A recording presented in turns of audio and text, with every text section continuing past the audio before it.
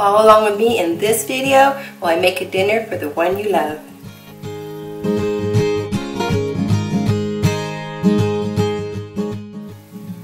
I rubbed the chicken down with the marinade, added a little bit more of the lemon thyme on top and some garlic salt. So just gonna let it sit for a little bit. So what I've done is cut off the base and the top of the garlic bowl and you can see it. And now we're going to be putting on some olive oil and seasoning and bake it in the oven.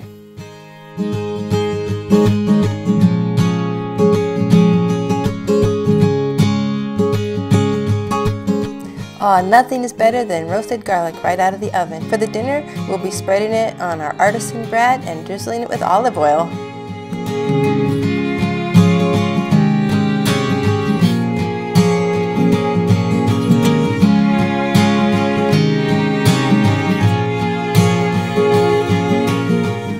Okay, as you can see, I'm squeezing some lemon into the boiling water. And then I had a little bit of garlic left over from the garlic and I'm going to place my artichoke in there and we're going to cover it and let it cook for about 45 minutes until it's all tender. Alright, took the artichoke out and drained it. Now we're just going to let it cool and we'll be taking the middle out and filling it for the dinner. Looks so good.